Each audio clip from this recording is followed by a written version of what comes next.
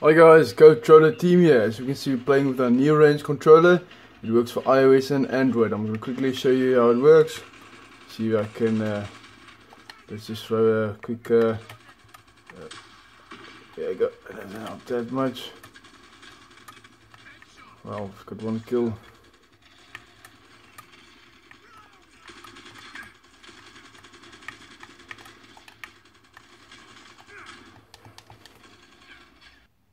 Hi guys, Gotroller Team here, we're back. This is our 3-in-1 controller. It works for um, for PC, Android and iOS and we've got an iOS device here, iPhone 11. So let's start. First thing first guys, see if it's on. As you can see controller is on. So what you must first do is click the iOS button. You just click it and it's connected. You can just hold it in. Start flickering, you know it's you know, part of the iOS um, um, chipset.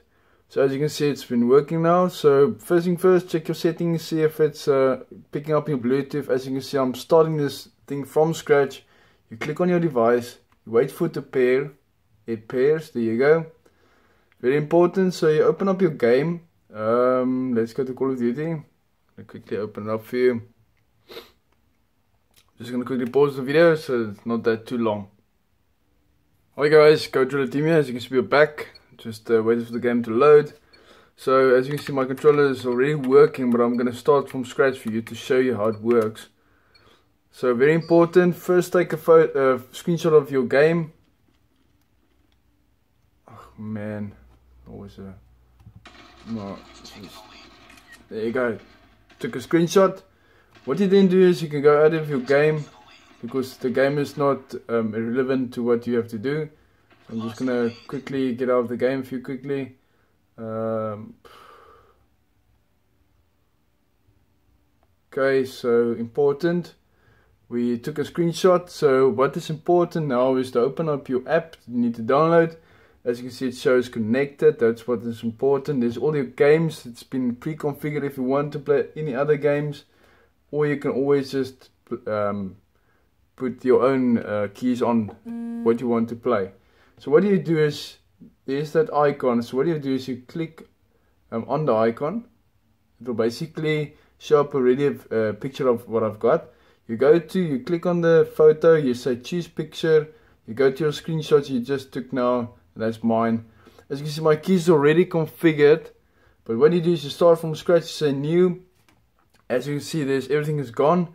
So how it works is you press your left toggle, take it to, you drag it to there, you press it there's two settings normal rocker that's the one you have to use doesn't matter really but just keep it on the maximum.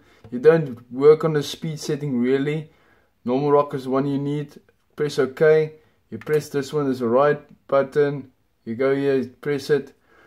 You don't use a normal rocker you use a perspective the speed setting one that um, that depends on what your sensitivity want to be one two three four I choose it one, it works perfect for me. Um, if I want to use the, I use, this is my configuration, so I use this one to swap my weapons. Um, if I want to use to um, load ammo, that one. If I use my grenade, I use this one. Just quickly gonna drag it there for you. If I want to crouch, I use this one. For jump, I use this one. Um, for my auto fire or my fire I use this one, this is the middle one. And then these three buttons here, I press this one normally. And I choose this one. And I press this one. And as you can see, all the keys are configured for this controller. It works perfectly. I'm to quickly save. That's important. It shows it's successfully saved. Now you can go into a game. Keep your app always open click to Call of Duty as the game. I'm just gonna quickly pause the game. Oh, let okay, let me uh, not pause it so that you can see it's not a scam or anything. That we did configure the controller. As you can see, it's a very nice controller. It's durable. It works perfectly. I'm just gonna conf confirm here. Get in my settings. Let's see if I have got only one minute left on my phone and my phone is full. So let me see if I can get a quick one minute video for you guys. So you play this game. I like Kilos. Kilos my favorite map. It's, it's I know all the the ins and outs now. Okay, so as you can see, configured. I can switch.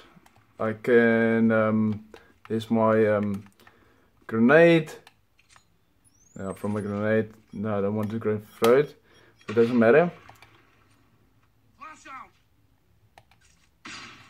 Oh, I actually used the wrong button. I actually wanted this one. So you can quickly go out.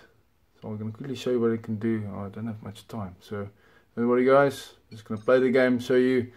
I didn't configure now my um, my rocket launcher. Well, to swap. Did I say swap this one? I think I didn't choose that one. That's a problem. Anyway, guys, I only have these now. So I have to work with this now. Normally I throw my grenade. There you go. It's gonna be difficult now too.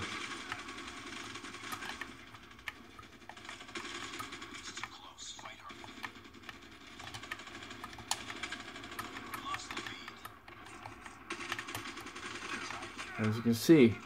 Easy guys, thanks for watching. If you want this controller, buy it. It's an awesome controller. As you can see, it's easy to configure my controls. You can play any game, Fortnite, Asphalt, any game you want to play, PUBG.